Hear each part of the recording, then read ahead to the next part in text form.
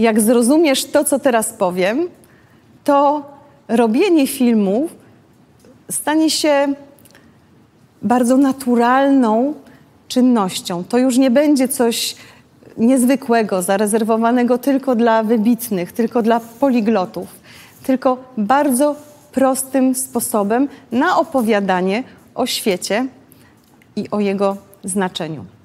Wystarczy, że spojrzysz na język filmowy jak na taki normalny język pisany.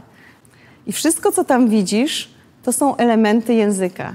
I teraz, jeżeli pomyślisz, że ta książka to jest tak samo jak film, to zrozumiesz, że bardzo prosto jest taką książkę albo taki film stworzyć od najmniejszej części. Jak każdy język, język filmowy zaczyna się po prostu od abecadła, od alfabetu. W języku filmowym naszym abecadłem, naszymi literami są kadry.